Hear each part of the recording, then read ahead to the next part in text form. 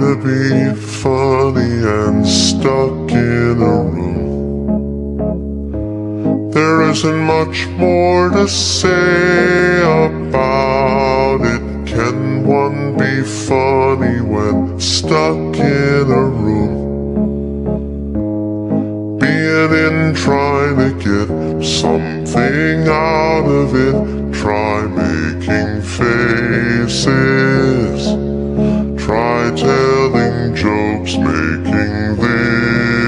Sounds. Oh, I was a kid who was stuck in his room.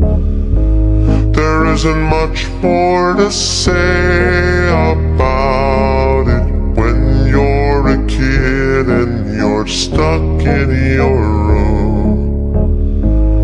You'll do any old shit to get out of it. Try.